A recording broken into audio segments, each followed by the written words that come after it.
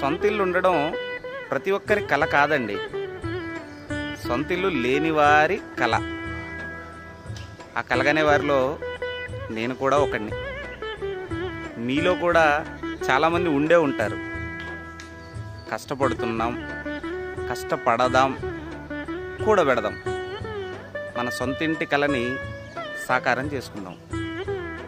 మీ గృహప్రవేశానికి నన్ను పిలవడం మర్చిపోకండి.